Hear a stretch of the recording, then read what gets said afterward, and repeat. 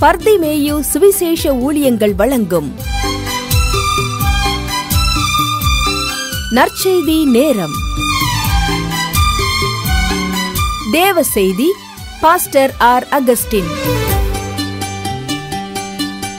இந்த நாளில் உங்களோடு மறுபடியும் எப்போதும் போல தேவனுடைய வார்த்தையை சொல்ல ஆண்டவர் கொடுத்த நல்ல சூழ்நிலைக்காய் ஸ்தோத்திரம் சரீர சுகத்திற்காய் ஸ்தோத்திரம்.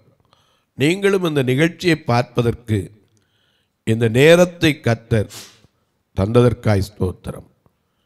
இந்த நாளை தந்த தேவனுக்கு ஸ்தோத்திரம். நான் வாழ்வு தந்த இறைவனுக்கு ஸ்தோத்திரம். வாழ்நாளில் ஒன்றை கூட்டித் தந்து வாழ வைத்த தேவன் பலவித நன்மைகள் செய்து பலவானாய் மாற்றின தேவன். இந்த நாளிலே எந்த கண்ணிகளுக்கும் நீக்கி தப்புவிக்கிறதற்காய் ஸ்தோத்திரம். அதைவிட இந்த வருஷம் முழுவதும் ஊனுடை தந்து ஆதரித்து வந்ததற்காய் ஸ்தோத்திரம் என்று பல காரியத்தை சொல்லிக்கொண்டே இருப்போம். ஏன்னா ஒரு வருஷத்தின் கடைசி வந்திருக்கோம். இந்த வருஷத்தின் கடைசியில் அநேகருக்கு கேள்வி என்னன்னா தேவன் சில காரியங்களை மறைக்கிறாரே ஏன்? ஐயா வேதம் நமக்கு தெளிவாக சொல்லியிருக்கு. ரொம்ப தெளிவாக சொல்லியிருக்கு. உங்கள் வேதாகமத்தை எங்கே இருந்தாலும் சரி தேடி கையில் எடுத்து இன்றைக்கி தான் இந்த நிகழ்ச்சியை பார்க்குறீங்கன்னா கூட பரவாயில்ல. மறக்கவே மறக்காதீங்க இனிமே. இந்த நிகழ்ச்சியை பார்க்கும்போது வேத புஸ்தகத்தை கையில் எடுத்து வைத்துக்கொண்டு ஒரு வார்த்தையை திருப்புங்க.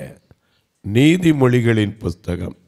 இருபத்தி ஐந்தாம் அதிகாரம் இரண்டாம் வசனத்துக்கு எல்லாரும் தேடி எடுப்பீங்களா? அப்படி எடுக்கிற வரைக்கும் நீங்களும் நானும் பாடுவோமா?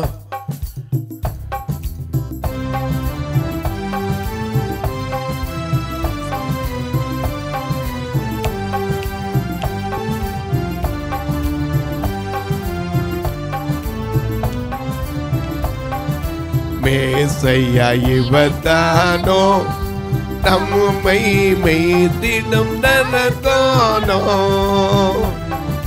மேசையா இவர்தானோ நம்மை மெய்திடும் நனதானோ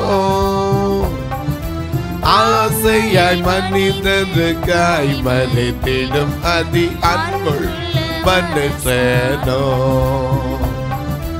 ஆசையாய் மன்னிந்தது காய் மன்னித்திடும் அதி அன்பள் மனுஷனோ ஆதிபராரோ இந்த அவனியொன் மானிடரே. ஆதிபராரோ இந்த அவனியொன் மானிடரே. ஆனிடை கொண்டிலை மௌனமாய் புதித்தையும் பாலகனா. ஆனிடை கொண்டிலை மௌனமாய் புதித்தை அற்புத பாலகனா. பாருருவாகும் முன்னே இருந்த பரம்பொருள் தானி பாரொரு பாருருவாகும் முன்னே இருந்த பரம்பொருள் தானி வரும் சீருடன் குவிவா அவை பொருள் யாவை? சிருஷ்டித்தமா வளரோ சீருடன் புவிவா அவை பொருள் யாவையும் சிருஷ்டித்தமா ஜீவனில் அப்பமுதாம் தாகம் இத்திடும் பானமுதாம் ஜீவனில் அப்பமுதாம் தாகம் தித்திடும் பானமுதாம் ஆவல ஏழைகள் அடைந்திடும் அடைக்கலம் இவத்தாலோ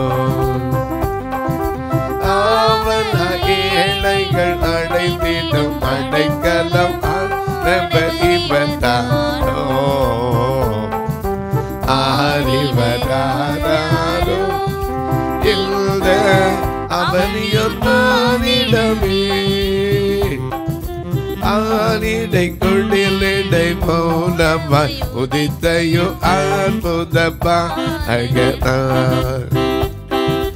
ஆனிடை குடிலிடை போலமாய் அற்புத பாலக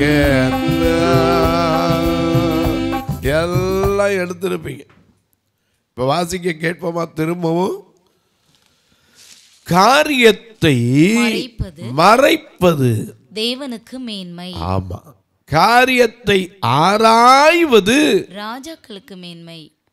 எனக்கு கண்பானவர்களே எப்பவுமே ராஜாவா இருக்கிறவரு ஆளணும். ஏன்னா நம்ம நாட்டில் சொல்லுவாங்க மன்னன் அரசருக்கு சமமாக மதிக்கப்பட்ட நாடு நம்ம நாடு. ஏன்னா அந்த நாட்களில் மன்னனுக்கு அவ்வளோ மதிப்பு இருந்துச்சு மன்னர் ஆட்சியில் பின்னாடி வந்ததை நம்ம எல்லோரும் இந்நாட்டு மன்னர்லாம் பின்னாடி வந்தவங்க சொன்னாங்க. உண்மைதான் எல்லாரும் மன்னர்கள் தான். வீட்டுக்கு அவங்கவுங்க வீட்டுக்கு அவங்கவுங்க தான் என்னது? ராஜா. ஆனால் எந்த ராஜாக்களும் சரி காரியத்தை ஆராயணும். சில நேரம் தன்னுடைய காரியத்தை ஆராயவும் முடியலை. தவறான காரியங்களை செஞ்சுட்டு பின்னாடி என்ன பிரயோஜனம்? ஒரு சமயத்தில் ஒரு கணவனும் மனைவியும் இருந்தார்கள். நல்ல குடும்பம் ஒருவருக்கொருவர் நல்ல ஐக்கியம். கணவன் மனைவிக்குள்ள ஒரே ஒரு பெண் பிள்ளை தான் இருந்தா. இவங்களுக்கு ரொம்ப ரொம்ப ஆசை ஆசையாக வளர்த்தாங்க. ஏன்னா அநேக நேரங்களில் அப்பாவுக்கு பெண் பிள்ளையை பிடிக்கும் அம்மாவுக்கு ஆம்பளை பிள்ளையை பிடிக்கும். இது எல்லா இடத்துலையும் இயற்கையாக தான் இருக்குது அதனால தான் பையன் எது வேணும்னா நேராக போய் அம்மாட்ட தான் கேட்பான். ஏம்மா? அப்பாட்ட சொல்லுவான். அங்கேருந்து சொல்லணும்னா போடா நான் சொல்கிறேன் அங்கே போய் நிற்பான் அதே போல் பெண் பிள்ளையா இருந்தால் அப்பாட்ட போகணுன்னு டாடி என்னது வேணும்? இந்தா உடனே. வாங்கிக்கம்மா வாங்கிக்கம்மா. எனக்கு கண்மாரிலே இந்த பிள்ளைய ரொம்ப அன்பாக வளர்த்தாங்க. ஆனால் இவங்களுக்குள்ள என்னன்னா தினந்தோறும் ஏதாவது ஒரு காரணத்தை வச்சு சண்டை போட்டுக்கிட்டே இருப்பாங்க. சண்டை போட்டுக்கிட்டு இருக்கும்போது இந்த பிள்ளை உட்காந்துருப்பா அந்த பிள்ளை சில நேரம் சொல்லுவா அப்பா ஸ்கூலுக்கு போகும்போதெல்லாம் என்னை கேட்குறாங்க உங்கள் வீட்டில் இன்னைக்கு சண்டையா? இன்னைக்கு சண்டையான்னு கேட்குறாங்க ரொம்ப எனக்கு மன சங்கடமாக இருக்குப்பா. நீங்கள் ரெண்டு பேரும் சண்டை போடாதீங்கப்பான்னு எவ்வளவோ சொல்லி பார்த்தார். பிள்ளையினுடைய மனதை பாதிக்குதுங்கிறத தகப்பன் புரியவே இல்லை. ஆராய்ஞ்சும் பார்க்கல. கடைசியில் ஒரு நாள் இந்த பிள்ளை தன் வீட்டுக்குள்ளே தன்னை மாய்த்து கொண்டாள். இவளை கொண்டு அடக்கம் பண்ணிட்டு காலையிலேருந்து மத்தியானம் வரைக்கும் அம்மா போய் உட்காந்து கல்லறையில் அழுவா. மத்தியானத்துலேருந்து சாயந்தரம் வரைக்கும் அப்பா போய் உட்காந்து அழுவார் என்ன பிரயோஜனம்? நாம் எப்போவுமே காரியம் செய்யும் முன்னாடி ஆராய்ந்து பார்க்கணும். எனக்கு கண்மானுடைய ஆராயாமல் செஞ்சுட்டு சில நேரங்களில் நாம் தவிக்கக்கூடாது. காரியத்தை ஆராய்வது ராஜாவுக்கு மேன்மை. உங்கள் வேதாகமத்தை தயவு செய்து ரெண்டு ராஜாக்கள் ஆறாம் அதிகாரம் ஒன்பதாம் வசனத்துக்கு திருப்பிக் கொள்ளுங்கள். இங்கே ஒரு ராஜா அறியாமல் செய்த காரியத்தை பாருங்கள் அநேக நேரங்களில் நமக்கு ஒன்றும் தெரியறதில்ல. நமக்கு மேலே ஒருத்தர் இருக்கிறார். அநேகர் மறந்துடுறாங்க அதனால தான் எபேசர் ஆறாம் அதிகாரத்தில் மிக அழகா மிக அழகா எழுதியிருக்கார். பிள்ளைகளே உங்கள் பெற்றோருக்கு கீழ்ப்படியுங்கள் சொன்ன தேவன். பிதாக்களே உங்கள் பிள்ளைகளையும் கத்தருக்கேற்ற சிக்ஷையில கோபப்படுத்தாமல் நடத்துங்கன்னு சொல்லியிருக்கார். வாசிங்க பார்க்கலாம் மிக அழகா எழுதி வச்சிருக்கார். பிள்ளைகள் பிள்ளைகளே உங்கள் பெற்றோருக்கு கர்த்தருக்குள் கீழ்ப்படியுங்கள். இது நியாயம். அதே சமயத்துல இன்னொன்னு சொன்னார் பிதாக்களே நீங்களும் நீங்களும் உங்கள் பிள்ளைகளை உங்க கோபப்படுத்தாமல் பிள்ளைகளை கோபப்படுத்தாமல் கர்த்தருக்கேற்ற சிக்ஷையிலும் அந்த வார்த்தையை அண்டர்லைன் பண்ற பழக்கம் இருந்தா பண்ணிக்கோங்க. கர்த்தருக்கு ஏற்ற சிக்ஷையிலும் போதனையிலும் போதனையிலும் அவர்களை வளர்ப்பீர்கள் அவர்களை வளர்ப்பீர்கள். போதனைலாம் என்னது? இப்படி தான் வாழணும் தம்பி. சொல்லி கொடுக்கணும். நம்முடைய வாழ்க்கை அவர்களுக்கு போதனையாய் மாற வேண்டும். அநேக நேரங்களில் இந்த பிள்ளைக்கு தகப்பேன் தினம் தினம் தினம் சண்டை ஓட்டதுனால பார்த்து பார்த்து பார்த்து கடைசியில் அவள் தன்னையே அழித்து கொள்வதற்கு காரணம் யாராக போயிட்டான்? தகப்பனா போயிட்டான். எனக்கு அன்பானவர்களே அதனால தான் எழுதியிருக்காரு கத்தருக்கேற்ற சிக்ஷையில் மட்டும் நடத்திடாதீங்க போதனையிலும் நடத்துங்க. உட்காரும்போது படுக்கும்போது பிள்ளைகளோட உட்காந்துருக்கும் போது பேசுங்க. நல்லதை பேசுங்க. நல்லதை செய்யுங்க. பிள்ளைகள் இருக்கும்போது எதை செய்யணுமோ அதை செய்யுங்க. அது பிள்ளைகள்லாம் எந்த நேரம் செய்யக்கூடாத காரியமோ அதை விட்டுருங்க. அநேக நேரம் அப்பா அம்மாக்குள்ளே தேவையில்லாத காரியங்களை பேசினா கூட அது பிள்ளைகளை பாதிக்கிறது. ஆராயாமல் செஞ்சிடாதீங்க.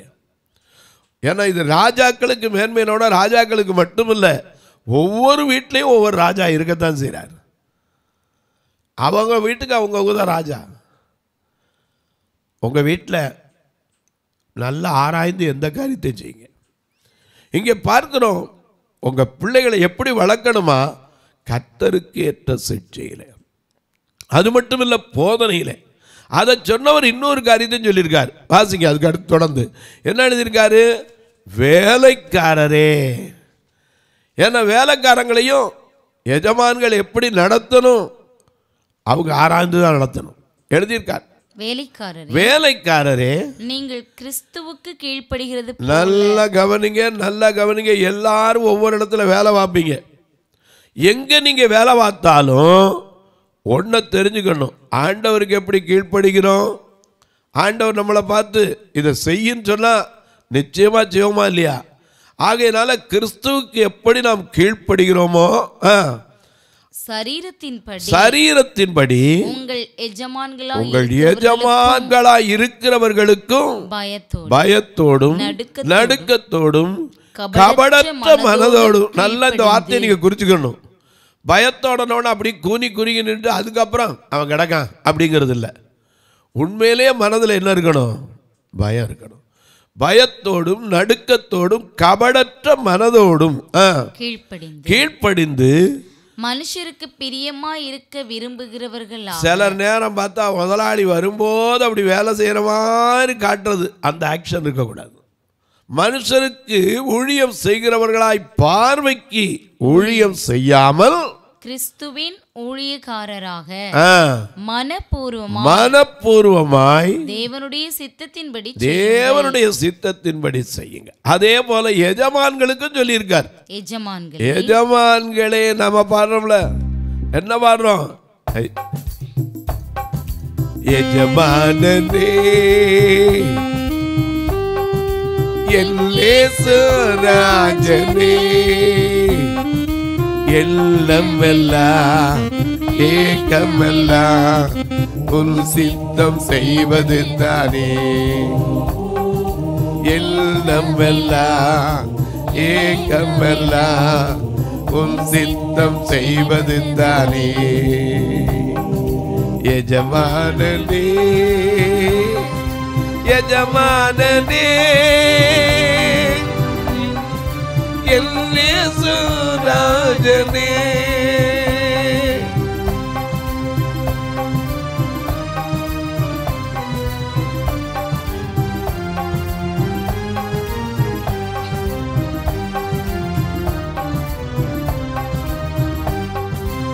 உமக்காகத்தான் வாழ்கிறேன். உம்மைத்தான் நேசிக்கிறேன். உமக்காகத்தான் வாழ்கிறேன். உம்மைத்தான் நேசிக்கிறேன் பலியாகி என்னை மீட்டிரே பலியாகி என்னை மீட்டிரே பரலோகம் திறந்தீரையா. பரலோகம் திறந்தீரையா. எஜமானனே எல்லேசு ராஜனே எல்லமெல்லாம் உன் சித்தம் செய்வது தானே எஜமானனே எஜமானனே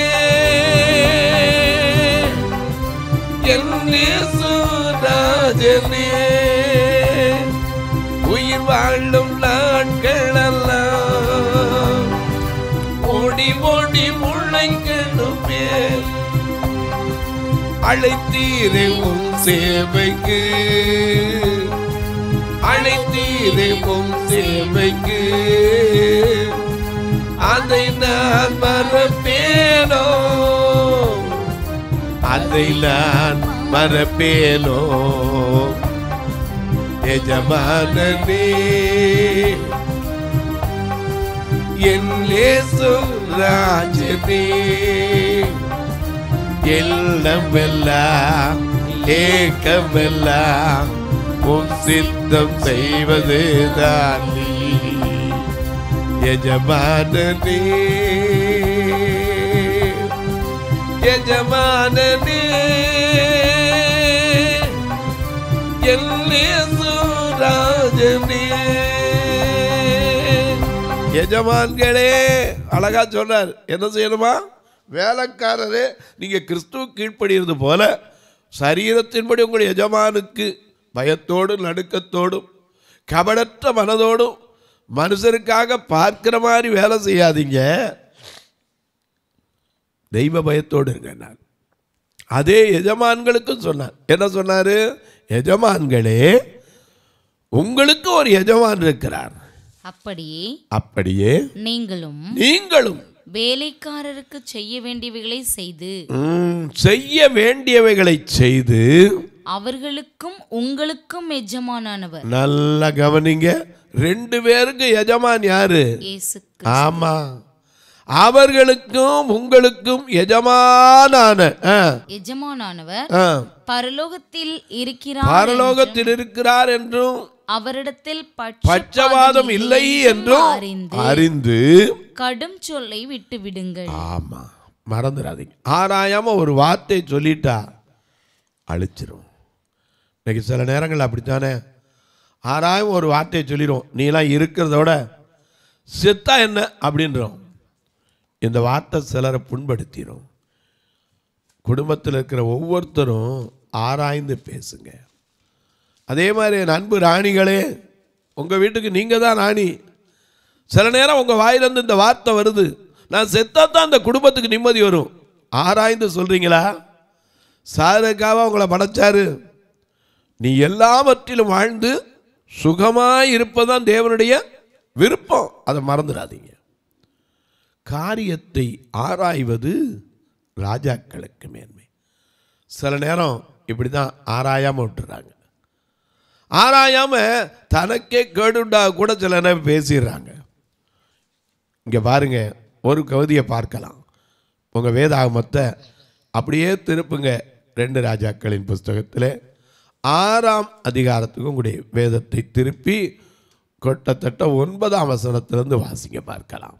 சரி எட்டுல. அக்காலத்தில் அக்காலத்திலே சீரியாவின் ராஜா சீரியாவின் ராஜா இஸ்ரவேலுக்கு விரோதமாய் யுத்தம் பண்ணி நல்ல கவனிங்க சீரியாவுக்கு இஸ்ரவேலுக்கு என்ன செய்யுது யுத்தம். இப்போவும் நடக்குதுல்ல காசாவுக்கும் இஸ்ரவேலுக்கும் சண்டை நடந்து இப்போ தான் கொஞ்சம் நின்றுருக்கு. எத்தனை உயிர்கள் பலியானது. அநேக நேரங்கள் அதை யாரும் ஆராயறது இல்லை சண்டை போடுறதுனால என்ன லாபம்?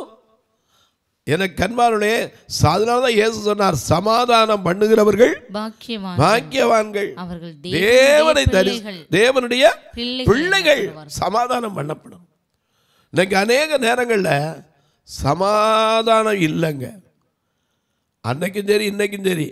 நாட்டுக்கு நாடு வீட்டுக்கு வீடு சமாதானம் இருக்கா? அதனால தான் இயேசு சொன்னார் மத்திய பத்து பனிரெண்டில் ஒரு வீட்டுக்குள்ளே போனா என்ன செய்யணுமா? மத்தையும் பத்து பனிரெண்டு. ஒரு வீட்டுக்குள் பிரவேசி ஒரு வீட்டுக்குள் பிரவேசிக்கும் போது அதை வாழ்த்துங்கள். அதை வாழ்த்துங்கள். அந்த வீடு இருந்தால் அந்த வீடு பாத்திரமாய் இருந்தால் நீங்கள் கூறின சமாதானம் அவர்கள் மேல் வர அவர்கள் மேல் வரும். அபாத் அபாத்திரமாய் இருந்தா நீங்கள் கூறின சமாதானம். திரும்பி உங்ககிட்டே வந்துடும் அதனால ஒரு வீட்டுக்குள்ள போகும்போது என்ன சொல்றோமா உங்களுக்கு சமாதானம். எனக்கு அன்பானவர்களே இங்கே பார்க்கிறோம். அக்காலத்திலே சீரியாவின் ராஜாவுக்கும் இஸ்ரவேல் ராஜாவுக்கும் விரோதமா அடிக்கடி படையெடுத்து யுத்தம் பண்றதுக்கு என்ன செய்தாங்க? தண்டு வந்தது. ஆ. யுத்தம் பண்ணி. யுத்தம் பண்ணி. இன்ன இன்ன ஸ்தலத்திலே பாளையம் இறங்குவேன் என்று தன் ஊழியக்காரருடைய ஆலோசனை நல்லா கவனிங்க சீரியா ராஜா எங்க ஆலோசனை பண்றாரு? அவருடைய அரண்மனையில் உட்கார்ந்து ஊழியக்காரரோட என்ன செய்றாரு? இன்னென்ன இடத்துல போய் பாளையம் இறங்குவேன் அப்படின்னு தீர்மானம் பண்ணுறான் ஏன்னா யுத்தத்துக்கு போகிறவன் ஆராயணும். எங்கெங்கே போனால் எப்படி இருக்கலாம் எப்படி படையை பிடிக்கலாம் எப்படி படை நடத்தலாம் ஆராயணும். அப்படி ஆராய்வதற்கு சீரியாவின் ராஜா தன்னுடைய இடத்துலேருந்து அவன் இங்கே வரல. எந்தெந்த இடத்துல போய் படை இறங்கணும் எப்படி இப்படி போகணும் எப்படி இப்படி நடத்தணும் எல்லா ஆலோசனையும் அங்கே பண்ணுறான் அப்படி பேசும்போது இதை கேட்ட ஒரு தீர்க்கதரிசி ஆகிலும் தேவனுடைய மனுஷன் இஸ்ரவேலின் ராஜாவினிடத்தில் ஆள் அனுப்பி அப்படி இவன் பேசுன காரியத்தை அவன் பேசுற அங்க பேசுனத இங்க தீர்க்கதரிசி அவருக்கு தெரிஞ்சிருச்சு. வெளிப்படுத்திட்டார் கர்த்தர். நீ உன் ஆளுக்கு சொல்லப்பா அப்படின்னு வெளிப்படுத்திட்டார். இவன் உடனே இஸ்ரவேல் ராஜாவுக்கு ஆள் அனுப்பி இன்ன இடத்துக்கு போகாதபடிக்கு இன்ன இடத்துக்கெல்லாம் போகாத ஏன்னா அந்தந்த இடத்துல யார் வாரா? சீரியாவுடைய ராஜா. இறங்குவார்கள் என்று சொல்லி அவனை என்ன செய்தான்? எச்சரித்தான். உடனே அந்த தேவனுடைய மனுஷன் சொல்ல கேட்டு அநேக தரம் இந்த இஸ்ரவேலின் ராஜா என்ன செஞ்சிட்டாரு? தன்னை காத்து கொண்டார் எனக்கு அன்பானவளே அதனால தான் இஸ்ரவேலே பயப்படாதே. நானே உன் தேவன். உன்னை நான் தெரிந்து கொண்டேன். உன் பெயர் சொல்லி அழைத்தேன். இஸ்ரவேலே பயப்படாதே. ஆண்டவர் சொல்லுது. அதனால தான் இங்கே சொல்கிறாரு இஸ்ரவேல ராஜாவுக்கு எச்சரிப்பு கொடுக்குறார். நீ எங்கெங்கே போகணும்? எங்கெங்கே போகக்கூடாது? எந்தெந்த இடத்துல பாலை இறங்கணும்? எந்தெந்த இடத்துல ஆலய பாலை இறங்கக்கூடாது? சொன்ன உடனே அப்படியே கேட்டு ராஜா என்ன செஞ்சார்? தேவ சித்தத்தின்படி அங்கங்கே போகாமல் தன்னை என்ன செய்துக்கிட்டார் காத்து கொண்டார் அப்படி காத்து கொண்டதுனால இந்த நாட்டுக்கு வரக்கூடிய பெரிய அழிவையே அவன் என்ன செய்தான்? படைக்கு வரக்கூடிய அழிவு தன் ஜனத்திற்கு வரக்கூடிய அழிவை என்ன செய்தான்? ஆராய்ந்து பார்த்ததுனால தடுத்துட்டான். காரியத்தை ஆராய்வது ராஜாவுக்கு மேன்மை. மறந்துடவே கூடாது. உங்க குடும்பத்தின் ராஜாக்களுக்கு சொல்லுங்க. ஆராய்ந்து எதையும் செய்யணும். கையில் மாதம் சம்பளம் வந்தோன்னே தடாவிடான்னு ஆராயாமல் செலவழிச்சுட்டு கடைசியில் இருபத்தோராம் தேதி காசு இல்லையங்கப்படாது எதையுமே ஆராய்ஞ்சு செய்யுங்க. ஒரு பொருள் வாங்கினா கூட உட்காந்து இது தேவையா? யோசிங்க. கல்யாணத்துக்கு ஓட்டு வாங்குவாங்க. எனக்கு அது உண்மையிலே நினச்சி பார்த்தா ரொம்ப வேடிக்கையாக இருக்கும். சண்டை ஓட்டு வீட்டில் ஐம்பதாயிரத்துக்கு நாற்பதாயிரத்துக்கு வாங்குவோம் அன்னைக்கு ஒரு நாள் போட்ட பின்னாடி ஆணியில் தொங்கும். என்ன பிரயோஜனம்? இதை விட ஏன் சாதாரண ஒரு நல்ல சட்டை போட்டு எடுத்தா அது எப்படி கல்யாணம்ல? இது நினப்பு இருக்கணும்ல. நினப்பு தான் மனசுக்குள்ளேயே இருக்கு. இன்னார் மனைவி நியமிக்கப்பட்டு எல்லாரும் சபை முன்னாடி வச்சு வாழ்த்தி ஆசீர்வதிக்கிறாங்களே. அதோடைய அந்த கோட்டு உனக்கு ஞாபகத்தைப்படுத்தின போது மறந்துடாதீங்க. ஆராய்ந்து பாருங்க. எந்த காரியத்தை ஆராய்ந்து பார்த்தீங்கன்னா நம்ம அநேக நேரம் அழிவுகளை தடுக்கலாம் வீணான காரியங்களை தடுக்கலாம். நமக்குள்ள தேவையற்ற காரியங்கள் இருந்தால் அதை தடுத்து சந்தோஷமாக வாழலாம். தொலைக்காட்சியில் பார்க்கிறேன் அன்பு மக்களே. இந்த நிகழ்ச்சியை எப்போது பார்க்குறீங்க? பரவசம் அடைகிறீங்க. நல்லது. ஆனால் கேட்குறதோட விட்டுறாதீங்க. ஒரு வார்த்தை ஜெபம் பண்ணுங்க. எதுக்கு? இந்த நிகழ்ச்சி தொடர்ந்து வரணும். ஒரு நாள் இது வரணும்னா தொலைக்காட்சிக்கு பே பண்ண வேண்டியது நாலாயிரம் ரூபா. ரெக்கார்டிங் தனியாக இருக்குது எங்கள் சபையோ ரெண்டு கண்ணும் தெரியாத மக்கள் நிரம்பி வழிகிற சபை. நீங்கள் வந்து பார்க்கலாம். வர இருபத்தி மூணாம் தேதி கூட திருநெல்வேலியில் சந்தோஷ பெருவிழா. கிரேஸ் மஹால் புது பஸ் ஸ்டாண்டு பக்கத்துலேயே இருக்குது வாங்க வந்து பாருங்க. இருபத்தி ஐந்தாம் தேதி மதுரையில் இருக்கிறது. நீங்கள் வந்து பார்க்கலாம். தாராளமாக வரலாம். நீங்களும் வந்து பங்கு வரலாம். தப்பு இல்லை எனக்கு அன்பாருளே அந்த நேரங்களில் நல்ல உணவு கொடுக்க உடை கொடுக்க அவனுக்கு உதவி செய்வதற்கு இந்த கிறிஸ்மஸ் காலத்தில் நன்மை செய்வது தான் கிறிஸ்தவம். உங்களுக்கு அந்த பாரம் இருந்துச்சுன்னா நீங்களும் தொடர்பு கொள்ளலாம். எப்படி தொடர்பு கொள்ள? இங்கே ரெண்டு நம்பர் வந்துக்கிட்டே இருக்கும். அதில் ஜிபே ஃபோன்பே உண்டு. இந்த ஃபோன்பேயில் பார்த்தீங்கன்னா ஜிபேயில் பார்த்தீங்கன்னா இதை கடவுளுக்கு இருக்கும். ஒருவேளை ஐயா எனக்கு கொடுக்கணும்னு ஆசை ஆனால் ரசீது வைக்கணுமே அப்படின்னீங்கன்னா eight four three double eight five two five double zero இந்த நம்பரில் பார்த்தீங்கன்னா உங்களுக்கு பரதிமேயு பார்வையற்றோர் சேரிட்டபிள் ட்ரஸ்ட்டுன்னு வரும். இதற்கு நீங்கள் தொடர்பலாம் ஐயா நான் சுவிசேஷ ஊழியத்தை கொடுக்கணும் அப்படின்னீங்கன்னா அதற்கு nine double four two double five nine double seven two ஃபோன்பேயை பாருங்கள் பரிதிமேயும் gospel ministry for blind foundation இருக்கும். கட்டுமான பணி கொடுக்கலாம். அதை விட இந்த பார்வையற்றவர்கள் மறித்தா சொந்தக்காரனுக்கு மனசு வர மாட்டேங்குது பியூனரல் காரியங்களுக்கு உதவலாம் அது மட்டும் இல்லை தங்குறது கூட ஒரு ரூமில் நிறைய பேர் சிரமப்படுறாங்க இன்னொரு அறை கட்டுவதற்கு உதவலாம். ஆனால் சொல்லுவேன் கட்டாயம் அல்ல விசலமாய் அல்ல. திருநெல்வேலியில் ஒவ்வொரு வாரமும் வேன் வச்சு எடுக்கிறோம் வாடகைக்கு. ஏன்னா கண்ணு தெரியாதவங்க. கூட்டம் காட்டுறதுக்கு எடுக்கிறதுக்கு நாலு பஸ் வச்சுருப்பாங்க. நான் அதை சொல்லலை.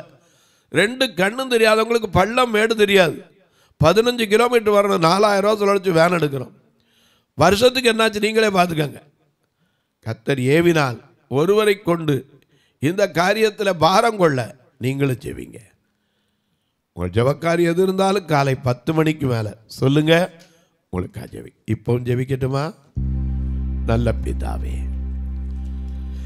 காரியத்தை ஆராய்வது ராஜாவுக்கு மேன்மை.